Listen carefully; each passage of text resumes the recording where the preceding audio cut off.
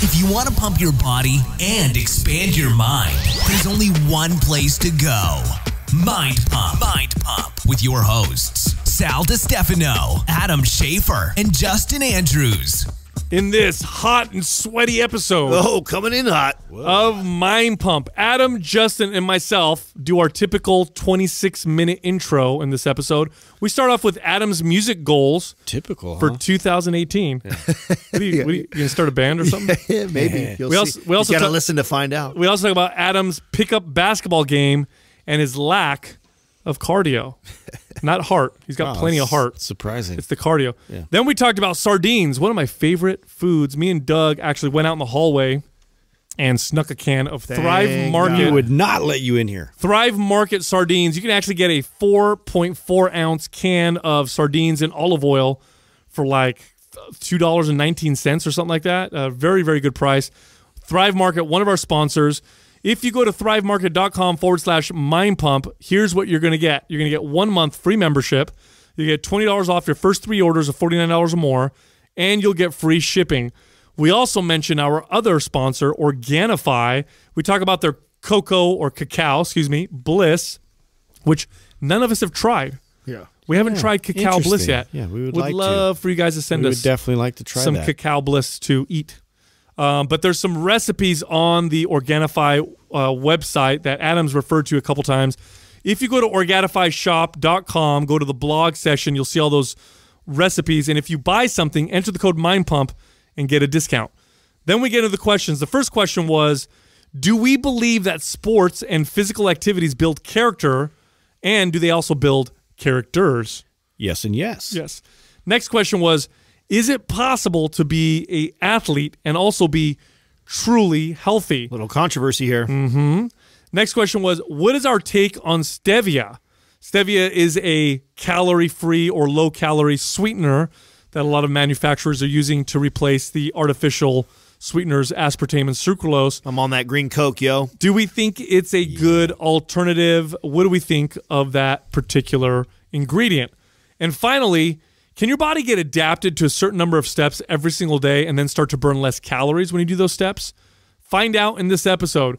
Also, you are heading into the year 2018. How about getting that year started the right way? How about you? We get a program where you've got the whole year planned out for you, where you can follow one MAPS program after another. Now, normally, if you would enroll in a year's worth of programming with us, it would be like I don't know, six hundred dollars, like dollars. Five million. It's worth a million dollars for Holy sure. Shit. Uh, but it would be a lot. But we have something called the Super Bundle, which includes Maps Anabolic, Maps Aesthetic, Maps Performance, Maps Anywhere, Maps Prime, and Mods. Uh, it's a year's It's worth of exercise, Superman does for his training. and it's super. It's discounted because it is a bundle. Also, if you enroll in any of our programs, you'll get an offer for half off into our forum, and then you're in the forum for life. By the way, next year and then forever afterwards, if you ever get forum access, you're gonna have to pay an annual fee every single year. So now is the time to enroll, and the place to do it is mindpumpmedia.com. Doug, tell me what time it is it? It's t-shirt time. What time is it? Oh, it's t-shirt time, boys and girls. it's that t-shirt time. It's that t-shirt time. Let's all do this. Who wants a shirt? You get a shirt. Throw them out. You get a shirt. Everybody. That's- Actually, a lot of people do get a shirt. Oh How yeah, many- how many reviews? Uh, We had 26 reviews. Whoa, people like us. That's not bad. Not We just got to bribe them. All right, exactly. It's Christmas season. Everybody's giving. All right, so we're giving out seven shirts. Damn. Hooking seven it up. shirts. First up is Brandon George, Alexa A. Bowen, Danny Fink, Crot- CrossFit Court, Crotchfit. I like that better. Loiter 2020, Darby Lynn, and M. Cush 10. All of you are winners. That's a pot smoker. Yeah. Yeah, absolutely. Send the name I just read to iTunes at mindpumpmedia.com. Send your shirt size, your shipping address, and we'll get that right out to you. Thanks, y'all. Good job. Justin, do that. Do the mind pump, uh, like uh, trap song or Skrillex type song. You know, Oh, like mind pump. Mind pump when that beat drop. No.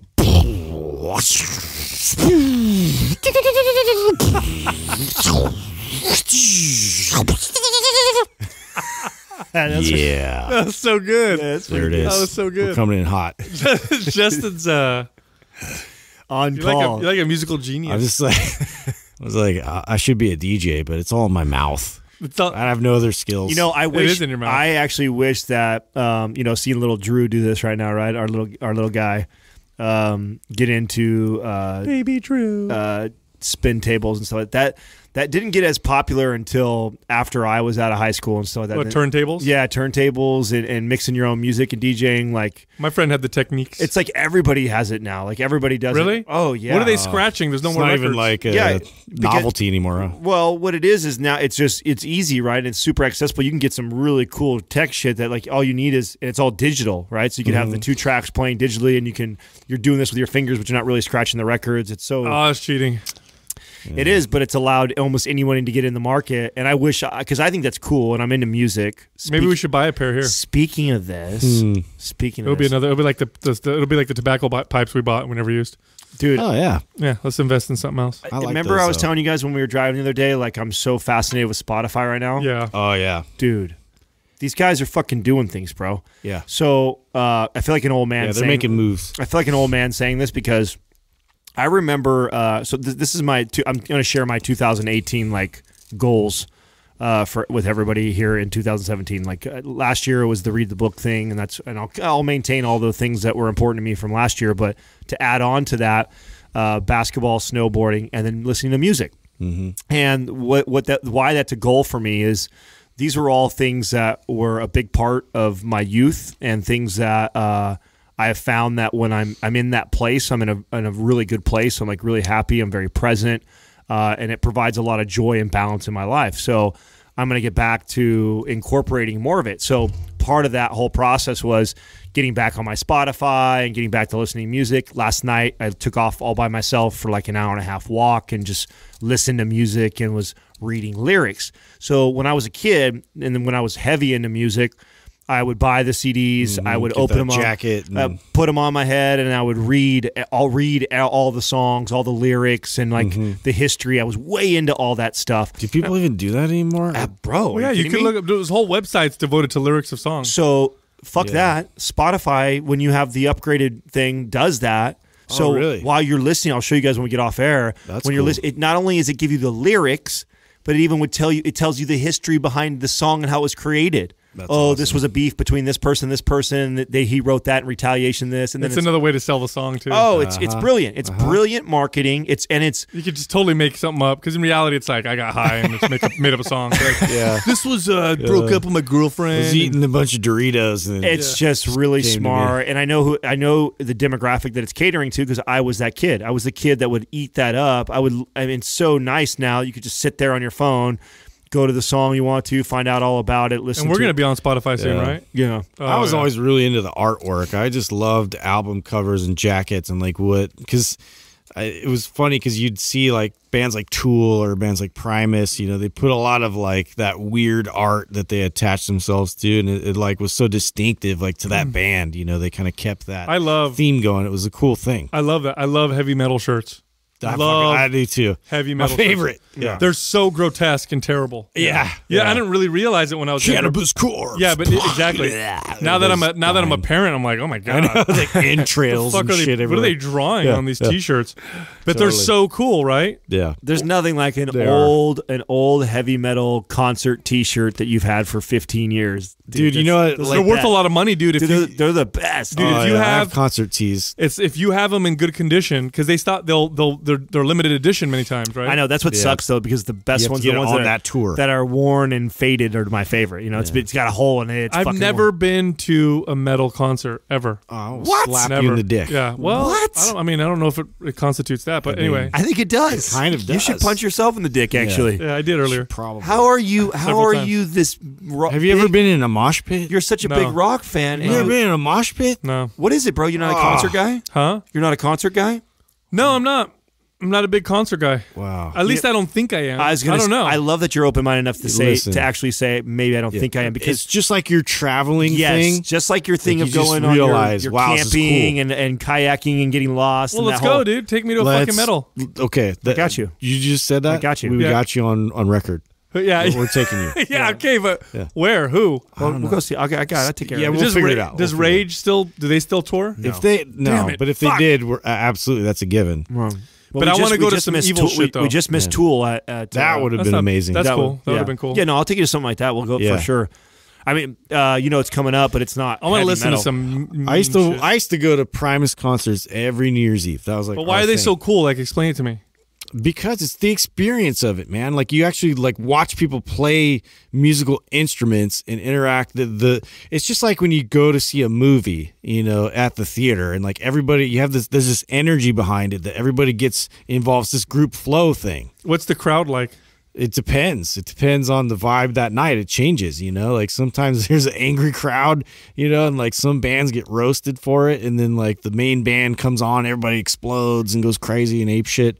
Or like sometimes they suck and you get boo, you know, they get people like angry. It's crazy. Well, most people that most people that go to concerts are pretty fanatical or you know know the band really really well. So the whole arena a lot of times is like singing the song and like so Oh, it's yeah. like this. I mean, I've been to concerts, but not a metal con. I've been to a few concerts, but nothing major. so I like I like I like metal better than I like hip hop. Like, and I love hip hop music, but I I fucking I saw Lady Gaga. I agree. See, the thing is, I like hip hop, and I like, uh, you know, it just it doesn't translate as well like in concert because you're like on a mic and like there's Well, a lot of a lot of hip hop today is got the synthesizer. so it it's doesn't got- really. It's just a bunch It's, of. it's yeah. produced right. It's a really it's it's produced up and heavy metal There's instruments. drums ins- yeah instruments it's Dude. it's and when you see that live and you watch somebody play that instrument live it's different than actually hearing it come through on so i definitely think there's a big difference between watching hip-hop and rock live and versus putting I because i'd rather have hip-hop in my headphones Mm-hmm. Yeah, i like it in my headphones because i can hear crystal studio clear. wise, like Yes. yeah, hip hop wins on that. But right yeah, so i can pick up the rock is lyrics live. but rock yeah man listen to rock I would love live. to see uh, like Rush. Are they still? Do they tour still?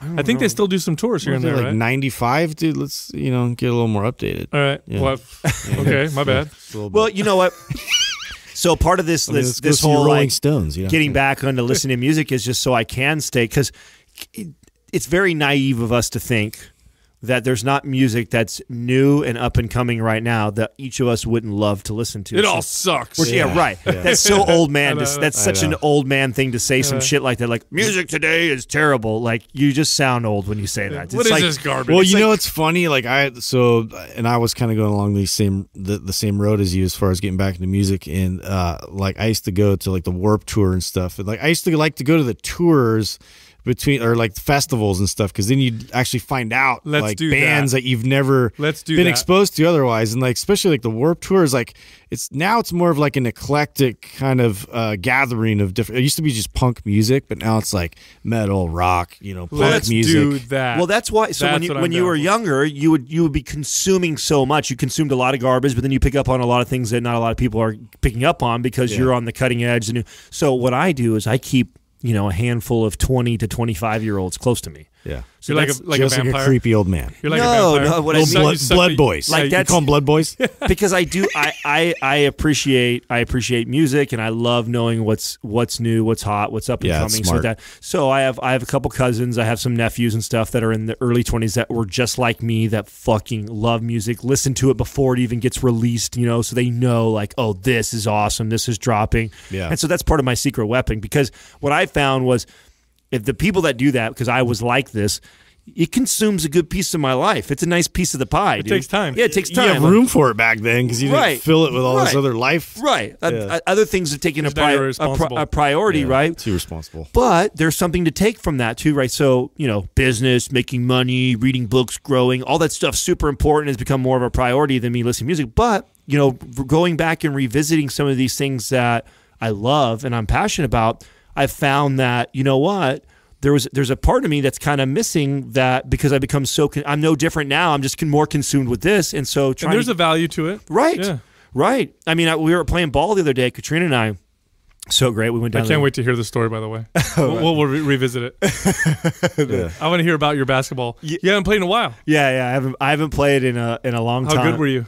Uh, you know what? I actually was I was happy with myself. I told Katrina that I didn't have high expectations. I know. What was I, your shot uh, percentage? so okay, now that's what I what I was I was impressed with. You know, I only played I only, I played two different days this last week, and I and I one game. That's it. I'm smart enough. Oh, okay. I'm smarter than you are. Like to go and do three games. I know I'm not conditioned for that right now. yeah, So I got bullied into that. I, my my shot, my rebounding, my blocking, all that stuff was like it was like riding a bike for me. I didn't miss it didn't miss a beat. It felt, and that's what actually got me excited because I was like, oh my god, that flow state right away, man. Like as soon as I get touch a ball again, it just it's like like Yeah. riding a bike for me. So that part was cool, but cardiovascular wise. Very humbling and eye opening for myself because I know, and it, you know what? It was like a slap in the face because we talk so much shit about cardio on this show that I feel like I've identified with that message so much to try and get to people to understand like you don't have to run all the time. Yeah. That now I fucking suck at it so bad. Well, you need it for endurance. If you want endurance, dude, right. You got to do it. Right. So, you know, so I actually went for a run the other day too. Like I, you know, You went guy- for a run? I went for a run. Oh my god, dude! Right, right. So What's happening? Someone's gonna see you and be like, I know. hypocrite. I know. That's yeah. I, and I, I'm thinking that But you're as- not doing for fat loss. No, I'm doing it to play basketball. I You're want to play doing it for ball. cardio. Yeah, I want to play ball. I want to snowboard. I want to do these things. So, anyways,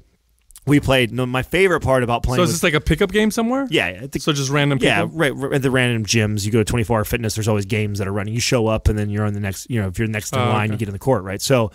Now, what I love to do, and this is actually how Katrina and I met over seven years ago, because those that don't know or haven't heard me say on the show before, she's a Division One collegiate level athlete. So she played basketball all four years in college. She was all defense every year, like so. She's fucking really good. And so when we go to the courts, it's always great because you know there's not a lot of girls out there playing the pickup games. You know, pickup games can be a little rough, and it's you know you don't see a lot of chicks at the at the 24 hour fitness mm-hmm. playing ball with all the mm-hmm. guys. But of course she does. You know. So her and I are waiting to to play the next game, and they're like, "Hey, you guys want to play?" Like, yeah, we'll play. We'll run. I look at her. You want to run one game? She's like, "Yeah, let's run one game." So we run one game, and then right when you first start, everybody's kind of like the other guys are matching you up. Like, okay, you take him, you take him, mm-hmm. right? You take her. take and the I always and I always know there's always like I always get this little shit grin on my face when I see because you could see who the kid on that team who's the most unathletic. You know, he's the extra. He's the fifth Yeah, guy that like yeah, sh- yeah, shouldn't yeah. be out there. Never played organized Showed ball. up kind of late. Right. Yeah. And so what do they do? Automatically pair him against Katrina. Katrina, right? He says, like, you go to Katrina. And I love when that happens because I'm like, oh, this is going to be great. Uh, wait until they realize that she's Run better than circles around most of their whole team, much oh, less you put her on the worst guy. and then, like, halfway through, they're having to stop. Holy, because she's. She got Was three. she just schooling on his Oh, ass? dude, she had three. She stole the ball three times from him. She blocked him. Like, and uh, dude, humbling when a chick fucking swats Oh, your shit, dude. dude. When you when you go up for a layup and a chick fucking Yeah. meets you at the hoop and fucking swats your shit, Right, dude. right, okay. you, your Okay. your Yeah. dick just crawls I'm up done. inside of you, dude. you yeah, yeah. feel like a little oh, bitch after I'm going to go shoot hoops, you know, Oh, like work on my and skills. Then, and then all Yeah. your buddies are like, else. "Oh shit, bro, she just schooled you." so, and then they end up switching over, putting a better person on her stuff. So, yeah, we went and played, ran game and won, of course. And uh, you know, so it's I love. Were you hurting the next day? Uh, I, you know what? The arches of my feet Yes. more than anything Your else. feet require a lot of strength to do that shit. Dude, Ah, that's, forgot. and that's one of the first things I noticed. And uh, my, I almost rolled my ankle just because of like the explosiveness of the jumping and all that. And like I, I landed on it, and I could just feel like my foot gripping for dear life. And then later on, those muscles were just not like feeling it. You know, any cut I made after that, it was like, oh, ooh, ah, ah. I, I definitely I'm in I am in the worst cardiovascular shape I've ever been in my life. No doubt. Yeah. Hundred percent. And th- and to me this was the for sure the it confirmed it. You know, I, I, I could have speculated that because I haven't been doing anything like that. But uh, because I've played ball for so for so long and, and consistently in my life, to see how I felt, like this is no exaggeration you know, we were really like her, her and I when we went down there to shoot. We're like, you know, we don't want to play. We know we're not in shape to play. We got to get in shape to play. But of course, you know, we're all we're competitors, and we're like, ah, fuck, I want to play. Let's play a game. You know, let's play a game.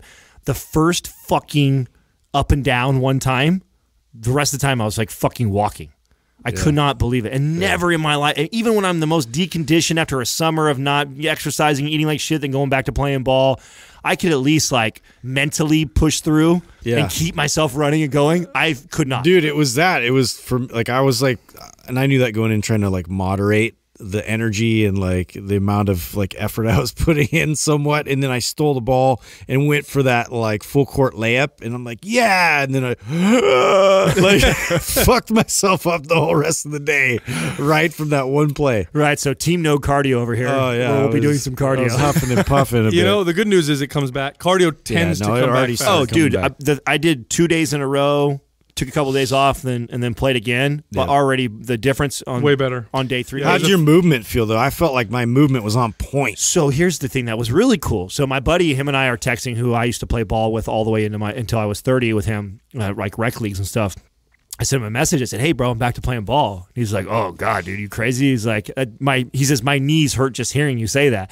And I was like, "You know what? The irony is, I said my knees, my ankles, my joints feel better now than they did Yep. five, six years ago when I was playing with you because I've addressed mobility issue and, and so much." I'm like lighter, more Oh, organized in my movement patterns. I- everything, my like going into the hoop was fluid and smooth. It's just yeah, I was So- just dog tired. So I'm not I'm not fluid yet, and I don't I know I'm missing a step, and like I definitely feel that missing. But I the the normal like like normally right away after I play a game, I, my IT would probably bother me, then my hips would, then my low back, like none of that. Like I felt really really good, and so that was really exciting for me. This is part of again 2018 for me you know, I, I'm definitely am not focused on aesthetics whatsoever right now. I'm 100% uh, focused on these other aspects of my life that that involve health and fitness for me. So uh, hopefully that doesn't bum out like you know all the the bodybuilding fans that I have that love to see me change my physique. But I'm sure knowing me, like I'll be on that kick for a while and then I'll miss being the buff guy walking It's around. fun, man. It's fun to take your body through all these different things. I think everybody It should, is. man. I really, I really believe that that th- this is the- this is I is ideal for everybody at one point to move in and out of these different modalities and ways of training. They all have their different benefits and carries, and they all have their detriments when you stay in one for too long. So well, think about it. If you get to the point where you're just enjoying what you're doing, you never stop. yep. You never stop, right? So you're always moving. You're always doing something. You're just changing what that is. right. and that's I think awesome. I think that's great. It gives you good, well-rounded, uh, you know, progress with your body. Uh, you know, and you're smart. You're not you're not an idiot, so you're not going to go hurt yourself. Yeah, or no. at least not try to. Easing my way in for sure. you Yeah, know, yeah, I- yeah, you know, exactly. I mean, old school me, just less than five, six years ago. You know, Mm-hmm. I could get on a court and run back three to five games, no problem. And right now, I know I'm not even in that condition. So. Yeah, I'm not. Yeah, I, I don't, I don't think I'll ever pick up basketball. It's- I've gone 38 years of my life without oh, playing a lot of it. You know, I don't think I will. But I, do miss. I do miss grappling. I do miss grappling. At some point, I will go back to doing. I could that. see, you know, what, and I, I would love to see you do that because I feel like the same experience that I'm experiencing right now, you will experience with grappling because you had such a passion for it. You were really good at it. You moved all the way up to what you purple belt is what you were up to. So you've you've put some hours in, and I bet you that and and this was Those before. patterns are there. Well, and then and then we my knowledge. just getting started, man. my Yeah, knowledge and yeah. yeah. no, that's the hard. That's what I'm going through right Well, now, dude, here's the thing, like- you know, there's nothing more frustrating than than doing something that I know I'm really good at Right. and not being good. I- Well, just- uh, yeah. bro it hurts like I, the thing about training jujitsu and uh, all the time is it just everything hurts all the time no matter what like i did it for six years and i still Yeah. was like oh this is twisted that's tweaked that's it's just one of those constant things so. you know, but it'd be interesting to hear now that you you've addressed and done more mobility and the fact that we have a different outlook on like flow. And so I think that i just got to go easier that's such yeah, and that's how I'm playing right now. Like uh, I'm experiencing the benefits of getting into flow state, and then the what I, what I'm getting from that without having to push, be at an elite Yeah. level. I'm not signing up for some fucking team right now. I'm like just picking up some ball, playing slower, not trying to get crazy right now, but really, really enjoying. Uh, some of the benefits that I'm I'm getting from that, you know. Yeah. So. you know my son's playing basketball i told you guys that yeah, he's got a game actually tonight so i'm gonna go watch him All play. Oh, he did. they won their first game yeah, it's his team won their And first how game did he do? You know, he he's trying. He's trying really hard. He's definitely not the the best kid on the team. He's not the worst, but he's he goes out there and he tries, which I really appreciate. And I've Oh. given him a couple stretches to do because he's super tight in his hamstrings, and uh, he's been doing them. I mean, it's really it's really cool to watch. Well, coaches at that level love that, man. I mean, if you're the kid, I was that kid. I was the kid. I was not the most athletic, talented kid growing up. I You're was just but, hungry to get but better. But I fucking outworked most everybody for Yeah. sure. And I mean, then you get better. You know, you get better when you do that, and, and coaches love you for that because they always want that guy on their team that they can use in his example of like, listen, if you actually fucking put some effort into it, worked hard, like this shit butt over here. Oh, it's great when you actually see things pay off too. And like same thing, like my son played uh Sunday and it was like uh I actually like spent time like a couple days before that really like just going over like the fundamentals and uh you know dribbling passing all this stuff and like shooting and uh in the game cuz like he's not necessarily like the best player in the, t- the team either and like doesn't really understand the sport yet. I mean, he's only like 7, so uh, for him to like get the ball, turn, I'm like shoot, and he shoots and he makes it. And then like this happened a couple times. He made like three Yeah. in the game, and it was like a really short game. But like I was just like blown away because you know soccer, I didn't see any effort or anything in that direction. This is He's one so of those young, too, though. that's like yeah, but it's still it's like finally for me to see like something kind of like translate and pay off like that was great. That's I'm so trying to remember how old I was or what what was that pivotal moment where I went from just like kind of fucking around playing sports to like really Mm-hmm. like trying. Yeah, like really trying. I, I think for me, I think it was. I mean, I remember in soccer, I think it was like the first time I scored a goal or something like that. Like you, You felt it. yeah, when you feel that excitement of what it's like to do that, and like you see that you can do that, like oh shit, and that. Oh, he got pumped. Like he was like like confident all of a sudden. You know, that's why he made a couple more. He was just like, yeah, I can, I can do this. That's awesome. You know? No, for me it was it was weights. Weights did that for me.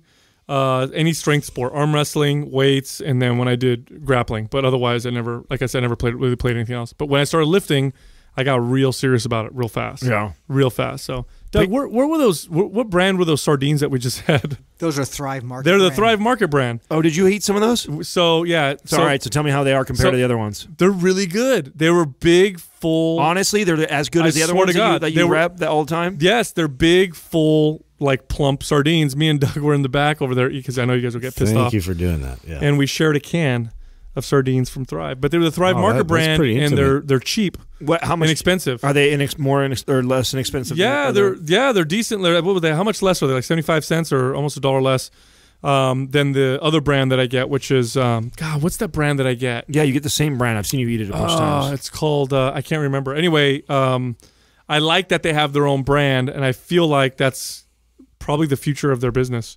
Don't you? Yeah. Don't Oh, well, you that- think so? so most okay. So uh, I mean, you know how much We've money been Costco eating a makes lot off of Thrive, their Thrive specific Market, brand, Thrive yeah. Market. Like if I understand their business model the same way, it's very similar to like a like a vitamin shop business. So they they carry all these other products that all that are most popular that people want, right? For a really really low price, and they don't make very much margins, if any at all, on those items. Where they make their most margins is on their own stuff, and that's the idea: is drive people to the website. So with with all these popular awesome brands for awesome deals where they're not making a lot of money, knowing that eventually you're going to try some of their Mm-hmm. Well, products well- where they make most of their money. Well, look at the difference in price. Smart. of Oh the- yeah, Wild Planet. That's the one. Wild Planet is, and which I like. They got great, great products too. Three dollars and twenty five cents a can on on the Thrive Market site. Oh, so so have- it's even cheaper on the market site because if you go to Whole Foods, it can cost you as much as five dollars. Uh, their Thrive Market brand sardines two nineteen, so it's over a dollar cheaper. So that's cool. They have their own brand and they have Thrive. Yeah. Thrive and they oh look at that, they have a bunch of them, dude. Yeah. Sardines are good, dude, and they're not anchovies. People confuse sardines with anchovies, and they yeah, think they're going to time, taste huh? Anchovies are hairy, dude. I can't. Anchovies, which I like too, but anchovies go with cheese and bread and stuff like that. Sardines are not super fishy, very, very good source of omega 3 fatty acids. And because they're low on the food chain, they're very low in uh, like things like uh, like heavy metals and mercury. So the thing about fish is if you eat like the big fish, like swordfish and tuna, Yeah, they're gonna pick up all those heavy metals. yeah, but uh, sardines are pretty clean. They're I pretty clean. So I didn't know that. That's a it's a healthier way. to- Not only that too, it, the the price point for the amount of protein that you're getting is pretty fucking solid. there's like 30 grams of protein for a can. You get a good dose of omega 3 fatty acids. right. You'll never find another meal for under under three dollars that you can get that much protein. You can get a can of tuna, which is okay, but the problem with tuna again, you don't get the fat as much fatty acids, and you also get sometimes mercury, or or if you eat too much of it, you'll get the mercury. Well, and and I I don't think I don't think uh, that'd be interesting for ounce to ounce uh, sardine versus actual tuna. tuna's cheaper. I mean, I think probably cheaper. Is it per, Yeah. for protein? I believe so. Hmm. I believe so. We need to do the math. They also sell canned chicken. You ever seen canned chicken at the grocery store? I have, and uh, you know what? That's I had a, fucking weird, dude. I had That a is girlfriend that used to eat that all the time, and I just couldn't do it. Huh. chicken in a can. Yeah, I can't do it, man. I know some Seems people like a bodybuilder's seems- dream, right? I, I Eh, know, no, right? it's exactly. It was a competitor. You know, my my girl that we used to compete. when you like, get tired of tuna, it's like, yeah, let's just uh, do this with chicken. Did her fart smell a lot? Oh, Or she, she was. I know. she probably I don't, listens. I don't, yeah, I don't. He's trying not to be mean. hey man, bodybuilder chicks no different than bodybuilder dudes. They have smelly farts. dropping some bombs. Yeah, you know who you are. Blow- blow- she, blew that hot air all over you. you know, while we're speaking about Walking through the gym, you think it's the big guy. while we're talking about food, While you're having sex. food and Yeah. stuff. oh, I've been on. meaning to uh, to address this on the podcast because uh, ever since I started doing like the Organifi like cookies and recipes like for Christmas time and holidays, right now I've been doing it a lot. I'm getting flooded with uh, DMs. What's the recipe? What's this? What's that? Like no. all this stuff. We should come up with a recipe book. Yeah, and part of the reason why I stopped was because I was getting so many of them. It was kind of I was like, "Fuck, this sucks." Now I can't get to other people with other questions in my DMs, and all I'm all I'm answering is food shit, which I don't like doing. But so l- let me just tell you guys where where I'm getting the recipes is off the Organifi website. So when you go to the Organifi website, So it's you- organifishop.com. Right. Go to organifishop.com and then go to the blog. When you click on the blog, That's at the bottom. So to get to blog, you have to scroll to the bottom. Right, it scroll all the way down. Yeah. Click on blog. Once you click on blog, then it's a it's a scroll, right? So you scroll all the way down, and there's like I think twenty something pages of blogs that are written that actually go with recipes. So you can oh, read Oh, the- they have chocolate banana muffins. right. for- You can read the blogs if you want, or you can just get the recipe from the blog. But they have all kinds of different ones that use all the different product. What is products. this cacao bliss? I have. We haven't tried cacao bliss yet. I know. Tell, Cacao Bliss dude, Shauna. balls. Shauna. Yeah, I know she's a listener. Shauna, I'm talking to you right now. We sh- Mind Pump should be some of the first people to get this shit. When I get inbox, somebody else be eating fucking cacao shit, saying it's the best they've ever had. We haven't even had it yet. Yeah. The so- fuck does that work? I love. cacao and balls. I'm in. Do you know what I mean? Yeah. Yeah. Suck on them chocolate Oh, salty yeah. balls. Oh, all of it. So there you go. Put, put them in your mouth. Bird. This Quah's brought to you by Organifi. For those days you fall short on getting your organic veggies or whole food nutrition, Organifi fills the gap with laboratory tested certified organic superfoods to help give your health and performance the added edge. Try Organifi totally risk free for 60 days by going to Organifi.com. That's O R G A N I F I.com and use the coupon code MINDPUMP for 20% off at checkout. Our first question is from Coach Wardle. Do you believe that sport and other physical activities build character or characters? So there's two questions here. One is does it build character, and number two does it promote characters? but yes and yes. Yes, Yeah, definitely. both. Yes, yes, and yes. Definitely. sure. I think any organized activity. That's uh that's uh Coach Josh, right? Josh, yeah, Josh Wardle, good friend. friend Shout of out to. Josh. Yep. Yep. So uh, any organized activity that is competitive is going to build uh, or promote certain attributes, and it doesn't have to be a physical activity. Although physical activities, I think, are some of the best because when you're playing something that's physical, you're feeling, you know, fatigue, you're feeling pain, you're feeling like lots of physical sensations, which can strengthen your character. Um, I noticed this when I would train certain clients with with heavy weights, in particular females, where they were ne- they weren't these you know some of these women had never done anything very difficult when it came to physical pursuits. They didn't play sports. Now I'm having them lift weights. I'm having them push themselves, and because they're going through that physical pain and they feel confident afterwards, they feel like they can handle more regular stuff just because they Oh, were able to handle that. There's no doubt in my mind that I'm not sitting here right now today if it wasn't for sports. Mm-hmm. I'm already statistically at a disadvantage being a kid who grew up in the home and the and the shit that I went through that I was supposed to be in jail, on drugs, doing shit like that. I 100% attribute that to the the the community that my parents had me in with church and then with with uh, with sports. Sports to me and and sports even more so because I even think that the uh, the dogmatic side of, of the church and everything like that uh, later on It was just life. about the brotherhood. Right. So uh, with with the sports, there's so many parallels that I found in sports with life and business. Uh, everything from having to work with others to the the amount of effort that you put into it is what you get out of it. Like there's so much of what I had to learn to be successful in sports as a kid has translated into the person that I am today. Well, what And about- yeah. what- adversity? everything. what about learning losses. to yep and what about learning to like rely on people or or exactly. or be able to or be a role player. Yes. you know, like like find like Right. how you contribute and how you contribute best. This is all stuff that you learn about yourself going through the process of like where your strengths are, where your weaknesses are, what you know part of your weakness where you can improve. So something that i could do to tangibly uh, you know improve my performance out there on the field to contribute more or like things like that. Like there's just so much um, i got from sports that uh, that's why i tended to actually um, gravitate more towards the ones that had the most um, i guess physicality the most like dangerous sort of um, uh, environment. Yeah, because for me, like I felt like I just I wanted more of a challenge. I wanted more things that um, you you really pressed me to my limits, so I can understand like.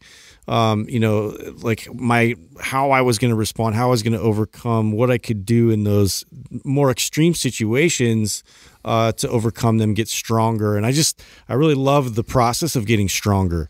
Do you guys? Do you guys remember? Well, I know you didn't play sports, but I mean, Justin, do you remember like sp- specific like lessons that you took from like a coach or like? I remember like mm-hmm. being yelled at on the soccer field as a kid, like "Do your fucking job," you know, like "Do your job." And I remember being hearing in practice, like, "Listen, every position, every player on this team has a specific job. Do your job, and collectively together we are successful. Don't do your job, and the whole team fails." Yeah. and learning that like and, and applying that in life is so true man like when you get into the business world and you have employees and you have a staff you have people above you you have people below you and you have to work with all these people with this collective goal to be successful Yeah. huge So that and like me understanding that um, you know what it takes to be a leader uh, in in a certain situation. Because for me, I, I would just like to do my own thing forever, and like people would trust and rely on me to do my own thing. But then stepping in more of a leadership position where now I have to tell everybody else, here's the game plan, here's what we're doing, here's how we like execute. Um, that was another challenge for me to then understand like here's the best ways to get people to respond to you to get to go to the workouts like a lot of my responsibility was just to get people in the off season to come in to improve on their skill set and uh, you know like eh, going from high school then to college was a whole nother monster. I need to learn everybody else's positions now. Like i was so good at my own position.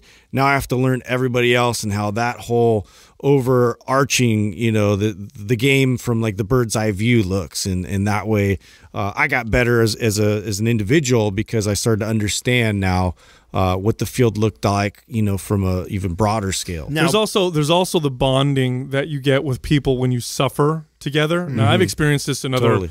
in other ways. I mean, uh, having worked in in fitness for as long as I have, and being parts of teams and gyms, and being in situations where you know you need to hit a particular sales goal and it's down to the last minute, and everybody's been working. Bell to bell for days, and we're there, and then it gets pulled off, and we did it together. Um, it's that common like you know it's that we we did this together that creates some pretty remarkable bonds and it comes from struggle it doesn't usually come from just ease and success No, that's a great point. Of course. I, I mean, I, I could play devil's advocate with this a little bit too, as going toward, towards the other part of the question that Wardle said, which is the characters.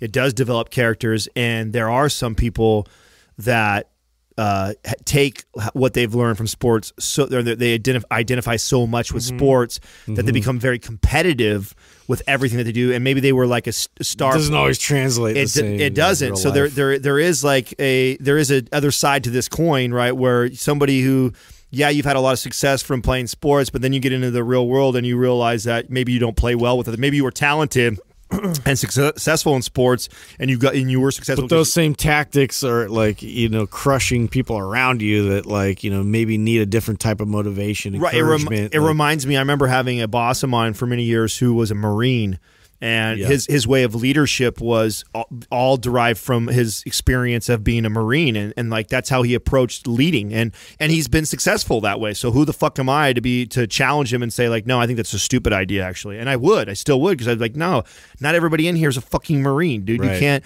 you can't lead everybody that way. It's not this do it do it now, ask questions later. Like you want people that are outside the outside the box thinkers and challenge the things that you may be putting uh, telling them to do. You don't always want everybody to be order takers, or else you're only going to be so successful. So Yeah. I think the same thing applies with people that have done sports their whole life and identify with being an I athlete. think anything that has a lot of power, anything that can invoke a lot of emotion or feeling, um, has the ability to provide incredible benefit, but it also has the ability to create um, and and provide some some negatives. Um, let's talk about tribalism.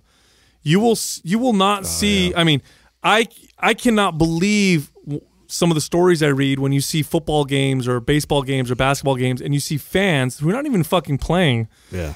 Be, Bro, get you into, remember what happened just get into fights. The hell out of Do you remember the other. Do- the Dodger Giants thing that happened just like three Uh, years horrific. ago? It's crazy. Fucking It's crazy. It's a practically fucking killed the guy. It's dude. a sports. It's a sports game, and so that's the characters. That's when people identify so strongly, right with the team, with or the with team or their sport. sport. where they're willing to fight each other over a bunch of millionaires who are running around on a field who that's what they do for a living and they couldn't give a shit about you. Yeah. I mean it's it's insane to me that you know that that happens, but it's because it has Well, you know- that, that much power. Remember, I said something not that long ago. This was maybe about three or four months ago, and I got some heat for it because I took a jab at, I think LeBron James, who, by the way, I'm a huge fan of him as an athlete because he he was talking outwardly about some political bullshit. I think it was Oh, around yeah. the whole fucking uh, Cap, Kaepernick Kneeling. bullshit. Yeah, and I was just like, yeah, just fucking stick to your sport, play your sport. And then I and I don't remember what else I said on the show, but then everybody's giving me flack, and it's like the way the way people were giving me flack though were like defending LeBron James to like a team. I'm like, they're on his tribe. I'm like, you don't even fucking know the guy. For all you know, It's the guy, tribe, the guy, dude. the guy kills children at night. You know what I'm saying? Yeah, like, you you don't don't, know. you don't know. I don't know. You know, I don't think so. I think he's a good guy too, but I'm not going to defend them to a T because somebody else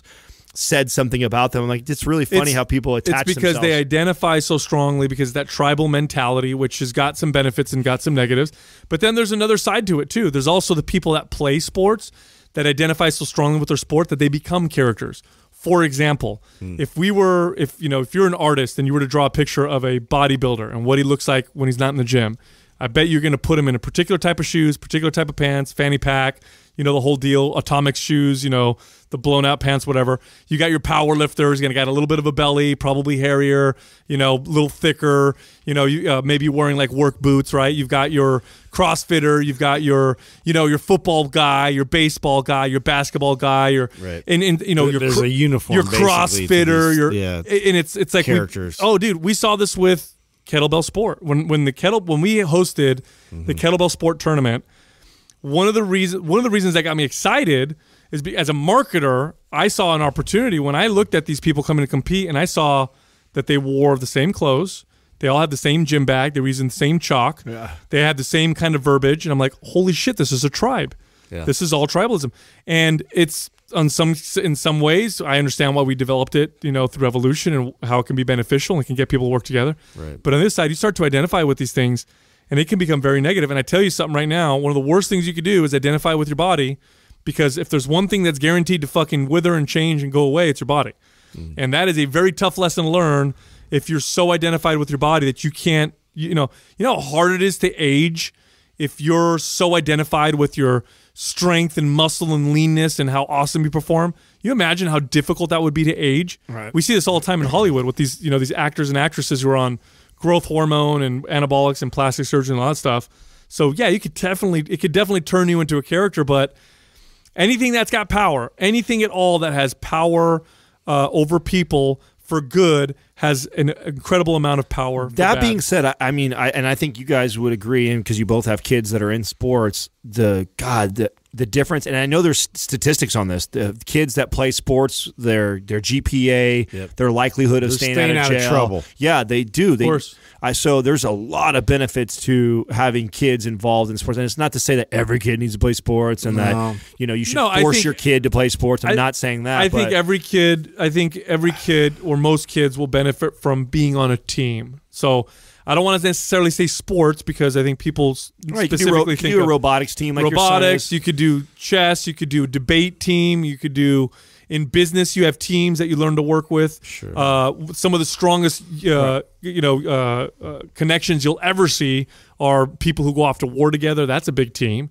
They'll come back and they'll be lifelong friends. So Right. there's definitely benefits from learning how to organize together, work together to achieve a common goal. Well, and I think too, like just the physicality, like so if you just like take it for like most sports, like it's this expression of like your physical abilities, which you don't really get that like in, in the rest of school. So for me, like sports, that was crucial for me because I just uh, that was something that um, you know me to just be able to improve my body and the way that it functions, and it gave me a deeper understanding. That's a great. That's a great point. Like you're you're making me think of times too of like what it taught me about like pushing through something. Like when I thought I was going to fail and break. You know, like when you've had to break through that mental barrier of like something's not only hard to do, but it's like physically hard for you to do. Yes. Like where you feel It's like different than Right. just like trying to Right. think your way through something. Exactly right. You, a lot of people quit before it even Mm-hmm. gets hard because they don't even know what hard is like, or they don't even know what real failure with their body. Do you know what your body feels like when it bonks? Do you know what it feels like to vomit because you pushed your body so hard to getting ready for getting in condition for sport? Or Yeah. when you've done that,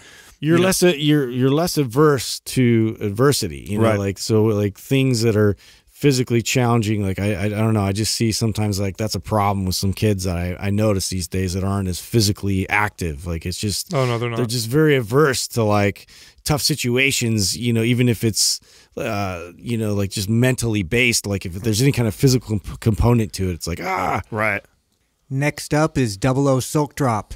Is it girl. possible to be an athlete and be truly healthy? Oh, we're gonna stay on this athlete kick. Huh? Yeah, well, we need to define what she Yes. means. So, uh, This is I like that you picked this question Yeah. because well, we, had that little debate. yes on we, the, we just had a bunch of debate about about this. Was it on the what was it on the It was on the video. I believe it was the IIFYM video that I did with uh, Jason Phillips, and we were talking. So they were saying how he made a comment on the video of something like, you know, elite athletes don't eat garbage all the time or something like that, and then people are like, yeah, you know, so and so is an elite athlete and he eats pop tarts and chicken nuggets every day, and so and so's, and uh, and really they missed the whole gist of the video, which was that you can eat for performance and you can eat for longevity, but they're not the same thing. Right. And uh, that's what we're talking about here. So it, now the, the question is, can they be truly healthy?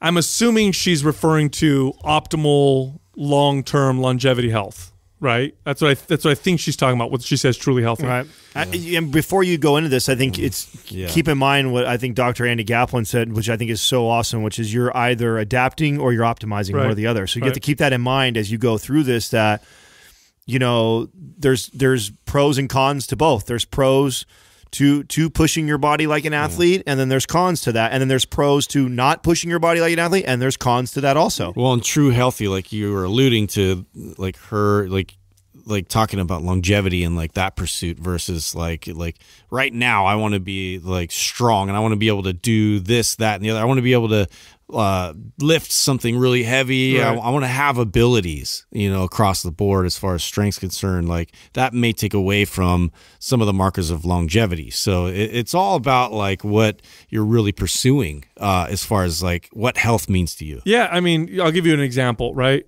We know through many, many, many studies that the ideal amount of protein intake for most people to build muscle is around 0.6 to 0.8 grams per pound of body weight for lean individuals. So if you eat around there, you're going to maximize muscle building with your protein intake. Now, for longevity, that's too much protein.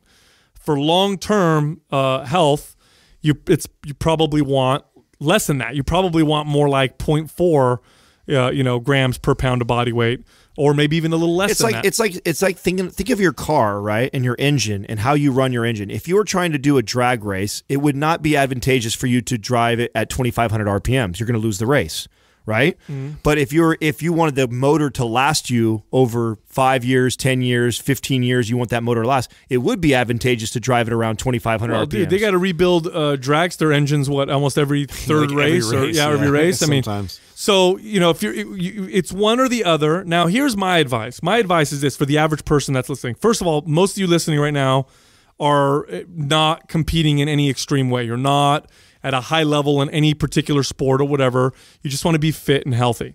Now, some of you are, some of you who are listening, this is the minority, are on that elite level. This message is for you also.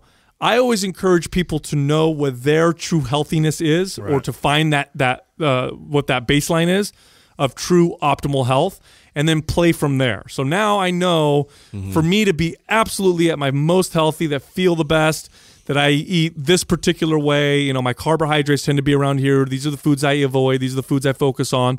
Now from there, I want to gain five pounds of muscle, or I want to improve my, you know, my endurance. I want to race on a marathon, or I want to get my body fat in a single digit. Now I can go from that baseline and push my body to be a little bit more extreme.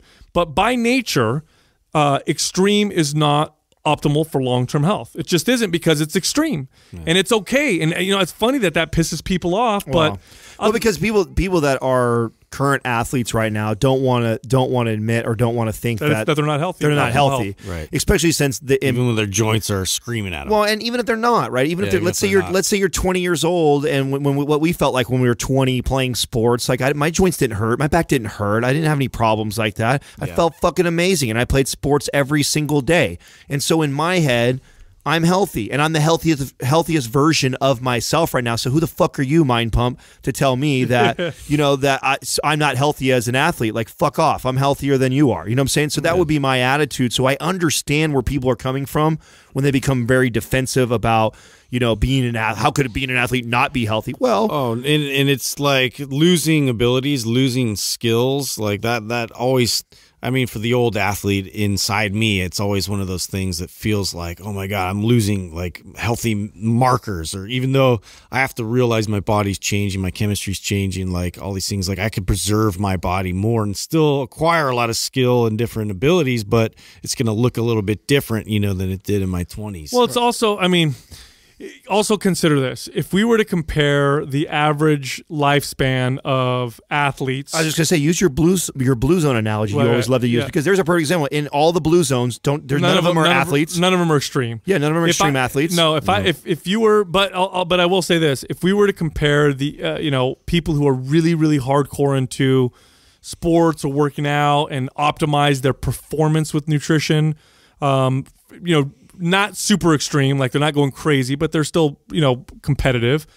They're going to live longer than the average person. So people are going to look at that and say, "Oh, well." I'm living longer than the average person, therefore I'm optimizing longevity. No, it's- you're comparing yourself to people who live shitty, Right, right. who live absolutely terrible. Now, if you look at the world's blue zones, now these are places in the world where people, a disproportionate amount of people live to 100 years old or older. Disproportionate in the sense that, you know, two times more people in these areas uh, versus other areas of the world. And there's seven of them that they've identified. You know, one of them is Loma Linda, California, the Seventh day Adventist. It's a religious group. Uh, they have very strict uh, nutritional guidelines. You have Sardinia, you have Okinawa, you have an, uh, an island off of Greece. And when they look at what these people do and why to try and figure out why they live so long, first and foremost, they identify that it's not genes. Although genetics play a role, they don't have special genes in these regions because once somebody moves from, for example, the island of Sardinia to, you know, Alabama, within one or two generations, they have the same lifespan as the people around them in Alabama. If once they follow the same lifestyle, so they've narrowed it down. Say, okay, it's not genes; it has to be lifestyle. Let's see what we find in common. And what they find is a lot of moderation. They find daily activity that isn't extreme. So nobody's running crazy. Nobody's doing hardcore lifting. Nobody. They're just active. Definitely more active than the average lazy ass, you know, Westerner. But they're nothing extreme. They don't eat extreme. Nobody's over like pushing calories. Nobody's pushing protein. Nobody's super restrictive. It's kind of moderate. Uh, they consume whole natural foods. They've got a, a really tight social network. They get a decent amount of sleep, but it's not extreme in any any direction. And that's longevity. Now, are any of these people going to be extreme? Are, are, are any of these people at their best performance in a particular sport? No. If you want to push your body to that limit, you are going to be taking away from longevity. But here's the way I look at it, because then people there's this whole argument like, well, you're not you're not you're not you know focused on longevity, so forget you and this and that. Look, here's the deal: like it's not about living longer necessarily; it's about living better. Right. And if you enjoy bench pressing 300 pounds and, and squatting 400 pounds, if you enjoy being able to run a marathon and under a particular time, if you enjoy eating, you know, more protein because you like more muscle and all those different things, and that's giving you a better quality of life, then that's worth it, in my opinion. I do a lot of shit that takes away from my longevity. Right, A lot, you know. Sometimes I drink alcohol, sometimes I party, sometimes I I don't sleep like I'm supposed to, but I'm enjoying my life. So, but yeah, the question is: Is it possible to be hardcore athlete and be uh, you know truly healthy in the longevity sense? There's Well, a trade it trade doesn't say hardcore. If it did say hardcore, then we would all say definitely Yeah. not. You know what I'm saying? Because hardcore is different than just being an athlete. Yeah. Being hardcore already in itself is, is is saying that you're out of balance and you're you're you're overdoing something because you're hardcore about it.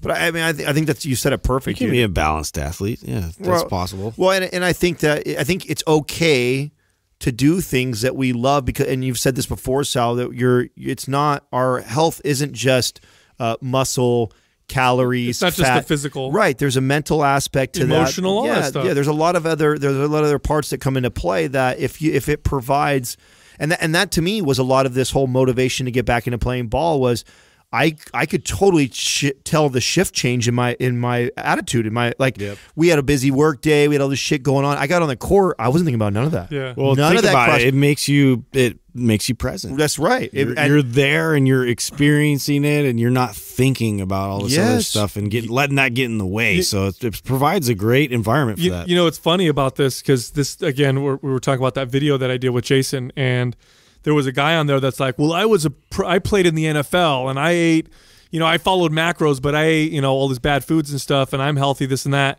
And the irony of a pro, an ex pro football player saying that, you know, you know the lifespan, the average lifespan of, yeah, a, of a- 50, Go get your- 55 first 50 of all, first of all, go get your brain checked. yeah, And then tell 53 to how healthy you 59. oh yeah, yeah They have a terrible lifespan. Yeah. Football is horrible Dude, yeah. for your life. It's war. You're going to war every time you play. Yeah, right. And you got to feed yourself. Dude, I like you're went going through all that. Yeah, you're not going to convince me.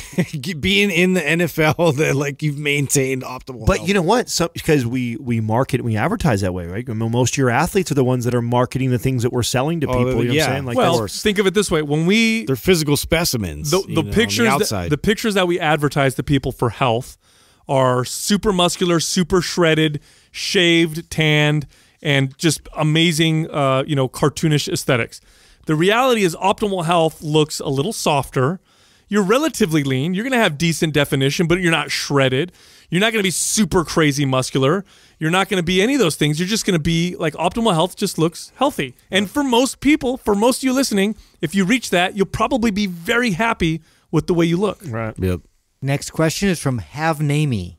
What is your take on stevia? Do you think it can be as harmful as other non-calorie sweeteners? Oh, I knew you wanted to go here for sure. Mm-hmm, I mean, I think this is smart that we talk about this, man, because uh, one of the things too, for sure, that we talk about on the show all the time is like uh, nothing. I'll never attach myself to something and say, "Oh, this is better. This is the way." It's like Right. we don't know. You know, as of right now, we believe that it's a better It's like a- option. yeah, because it's like plant derived. At least we're going in that direction. I use but- it. I use it probably more than what I should without knowing more information. But do you think people are overusing it? oh, for sure. So, so here's the thing. So stevia is uh, it is a plant, and it does contain um, I believe they're called. These are compounds in the stevia that give it its sweet flavor.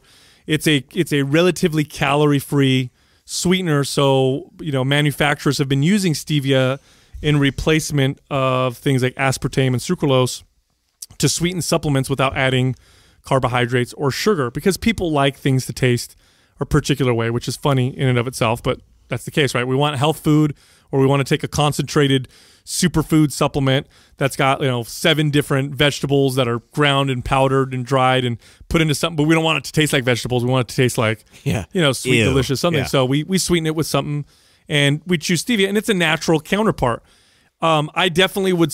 i definitely think stevia is better than the artificial sweeteners for several reasons. One, um, it's been used for a long time all over the world. It doesn't seem to have the negative effect on the gut microbiome that things like sucralose and aspartame have. It's been longer. Been around longer. I said that already. But does that mean it's going to have zero effects on the body? Of course not. Everything you consume, hmm. especially if you consume a lot of them, will have effects in the body. Now there was there were some old studies done to show that stevia had a contraceptive effect on female rodents. So there was some uh, fears that it may have some effects on the hormones of mammals. Now these were done on animals. Uh, animal studies uh, can only be replicated in humans about thirty percent of the time. So there's that, and there are uh, there were other studies afterwards that couldn't replicate that same thing. Nonetheless, um, my take on stevia is that my take on anything uh, that you supplement in your to your body. Uh, it, it doesn't replace whole natural foods, Right. um, but I would definitely recommend it over. The, And you'd be you'd probably be totally fine with it if the only way you consumed it is by chewing it up in the plant form. yeah, and you know some Because st- the amount that you some stevia extra- extracts are are super concentrated. That's what I mean. Like, Yeah. I mean, it goes back to, and I- we've talked about this. It's been a long time since we brought up the the analogy of the cane sugar. Like, if you were to actually eat cane sugar in its natural form in nature, like it would be like fucking eating It's a eight huge stalk yeah, of like si- fiber. yeah, like Yeah. one Coke is like six feet of fucking bamboo you'd have to chew up, which not happening, right? Yeah. The amount of calories you'd use to do that and burn, Yep. yada yada yada, right? Well, so I, I know the Japanese use, have used stevia for a very, very long time, and they've got great. Uh, there's been great track record with it. No, you know, like I said, no major problems.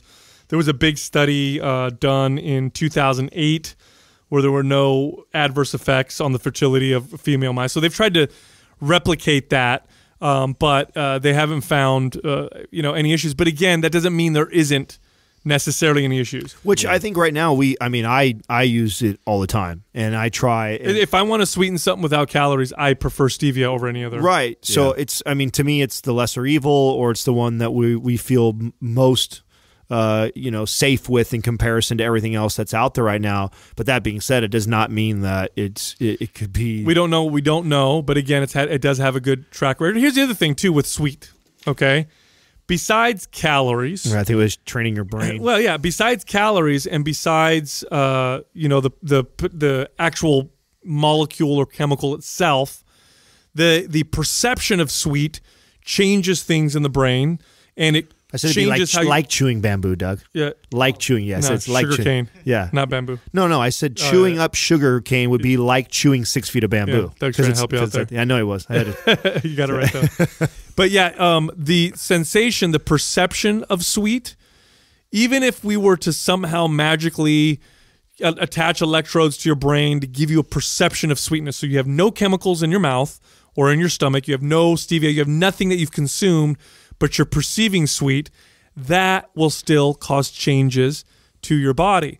And it can cause changes from how you perceive the taste of other foods to, you know, That's the. I'll tell you right now, and this is anecdotal, but I can always tell when my body gets used to taking in the artificial sweetener. It's a fucking trip to me, and I and I fuck with this all the time. I have uh, protein bars in my refrigerator right now. I haven't I haven't ate them in quite some time, but you know when it when I haven't had any of them for a long time, and then I reintroduce them, they taste like shit. They really do. Yeah. And then I and then I'm like, what the fuck? I remember these things being great. Maybe these ones are old. That's always always I go through this whole like mind fuck with myself all the time. Like, oh, these must be old. I need a new box and get a new box. And then I realize, oh, that's not very good. By about the third one, it only takes about three in a row, like three days in a row of like consistently having a protein bar. Now all of a sudden, I fucking love them. Like Isn't literally, literally, and it, and I notice it every time I go away from them and come back. I can I can pinpoint the shift that when I first intake them, they don't taste good. I don't like them.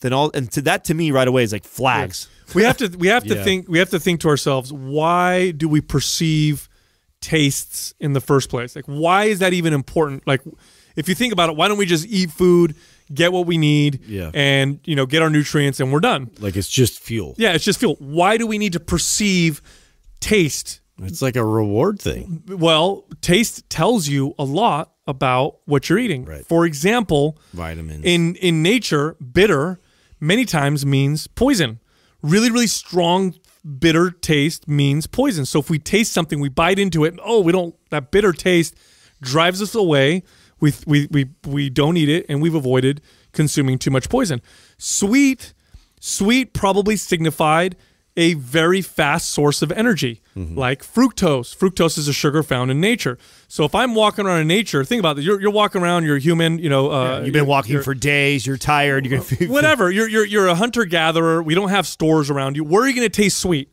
You're going to taste sweet if you randomly come upon fruit that's growing naturally, and you'll taste it, and you'll be like, it'll blow you away, like because you probably don't taste sweet all the time, right? So you'll taste it and be like, oh, my, what is this amazing flavor? First of all, sweet sweet tells you it's safe. In nature, sweet means won't poison you. Number two, sweet means fructose, which is a very quick you know, available source of energy, which is valuable, and it's going to make you eat the fuck out of this safe source of natural energy. Plus, it signifies particular types of nutrients like vitamin C, which is found in things that tend to be sweet in nature. So these these sensations or perceptions exist for a reason, and if you trick your body by giving it something that gives you that perception, but it's not a come to it. yeah, your your brain starts to change. and So Well, then you don't. Then you do what happened to me, which was for a good portion of my young adulthood. I didn't like fruit. Fruit tasted bland to me. because you were comparing it to processed. Because sugar. I'm comparing it to all the fucking sugar that I was getting in boxes and wrappers and things like that. That is like it's, it's accelerated by like a million times Isn't in compar- comparison. So fruit tastes blah to me. Take that out. I remember when I went and I was competing and I had like none of that shit in my diet.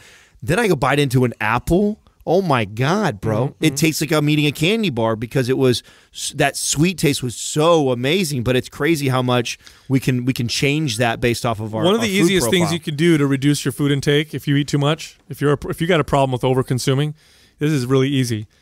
Eat only super bland food. No joke. No joke. This will you will naturally get palate fatigue. You will naturally eat less. Don't season your food. Don't combine foods. Eat them plain as fuck. You know, plain. You know, uh, you know, meat with Well, it's nothing a- on it's it. a Chris plain, Kresser white yeah, potato thing, Yeah, right? and, and and watch what happens. You'll find that you'll your your decision making changes quite a bit. I mean, seasoning food to some extent was a form of us processing food, right? Like or or trying to increase its palatability and kind of hijack those things. So anyway, my, my with this long rant, what I'm basically trying to say is, you know, like we our advice is with any supplement, use them, but don't use them to replace. Right, use it uh, judiciously. f- yeah, use them judiciously. Don't use them to replace whole natural foods. And if you have to sweeten something that and you don't want sugar, uh, stevia is probably better than artificial sweeteners. Next is from Klubinator. Can your body get adapted to a certain number of steps every day and thus burn less calories? Of course. Yep. Your body adapts to whatever it does, becomes more efficient at whatever it does a lot of. Um, you'll find if you take, I can't remember the study. I, I read, I read some, some, an article on this. I think it was where they took like a high level um, cyclist and a high level runner, endurance athletes, and they were measuring, and they got similar body weight and you know similar BMR and all that stuff, and they were measuring calorie burn during their respective sports, and then they switched them. So now the cyclist is running, and then the runner is cycling, and their calorie burn went through the roof when they were doing the sport that they weren't used to. I experienced this when I was training, uh, when I was doing a lot of jujitsu, and I was training like four days a week, and I had at one point I had really good endurance with jujitsu. Like I could go match after match after match and not and be okay and not you know die from you know being exhausted. And then we had a boxing coach come in and take us through boxing, and it exhausted the shit out of me.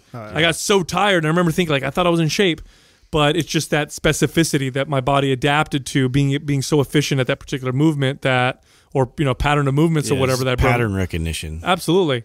So yeah, you could totally adapt, but that doesn't mean you're gonna lose the health benefits from it. Right. You right. There's a lot of other health benefits that go with just you being up and moving. I think it's important to note that because it's like, uh, you know, this is why I've had construction workers or people that have jobs where they're on their feet and they move all day long And they're obese. and they're obese. And it's like, well, your body's gotten so you've been doing that for 10 years, 15 mm, years, Group 20 X instructors. Right. Your yeah, Right. right. Your body's gotten so Like, adapted to happen? all this that you're not really seeing the major calorie burn benefits, but you still do get the the blood flow movement. You get your your actual movement for your your body and your joints from not sitting sedentary. Like you get all those benefits from that.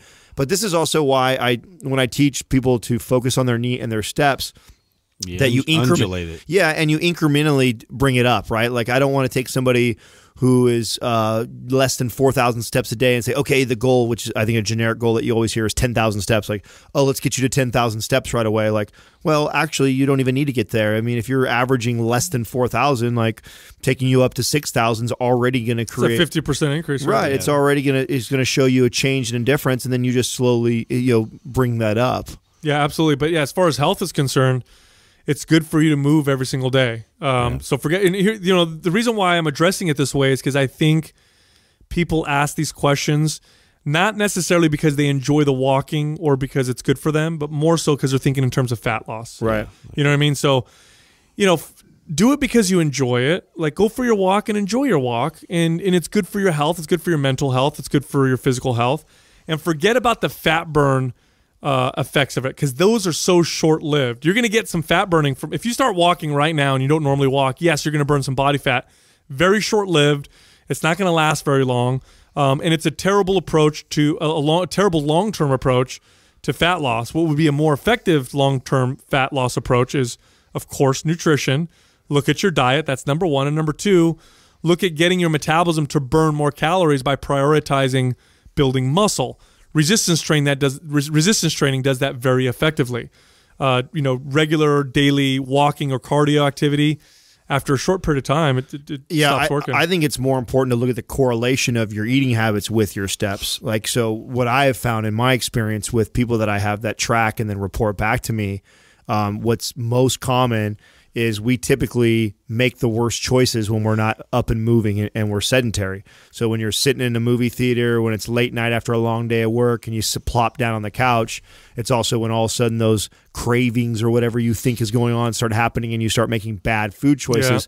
Like so the, the getting up and the moving piece is important and it has its own benefits, but the correlation between your movement and how you're consuming and what you're consuming to me is even more important is to pay attention to that and your patterns. And I, for me, a, a game change. We talk about par- paradigm shattering moments in our in our lives. You know, for me, uh, when we first when the very first tracker came out, BodyBugg, way back when, and I realized that holy shit, Monday through Saturday, I was burning 5,000 plus calories a day. And then Sunday, I was burning 2,500 because I sat around and watched football all day. And guess what? It, that In my mind, I justified that was my day off. It's also the day that I had pizza or beer or, or fucking go off the, off the, you know, the radar with, with all kinds of uh, bad choices. storm. Right. And, and it was, an, that was enough to keep me from progressing my physique to the next level. So, I think uh, understanding that correlation uh, is more important than even just focusing just on the steps by itself. Excellent. Check it out. Go to YouTube. Check out our channel, Mind Pump TV. Go look and see what all the hubbub is all about. It's a new word. I'm going to use that. Hubba And it's on YouTube. Subscribe. Thank you for listening to Mind Pump. If your goal is to build and shape your body, dramatically improve your health and energy, and maximize your overall performance, check out our discounted RGB Super Bundle at mindpumpmedia.com. The RGB Super Bundle includes MAPS Anabolic, MAPS Performance, and MAPS Aesthetic. Nine months of phased expert exercise programming designed by Sal, Adam, and Justin to systematically transform the way your body looks, feels, and performs. With detailed workout blueprints and over 200 videos, the RGB Super Bundle is like having Sal, Adam, and Justin as your own personal trainers, but at a fraction of the price. The RGB Super Bundle has a full 30 day money back guarantee, and you can get it now plus other valuable free resources at mindpumpmedia.com. If you enjoy this show, please share the love by leaving us a five star rating and review on iTunes and by introducing Mind Pump to your friends and family. We thank you for your support, and until next time, this is Mind Pump.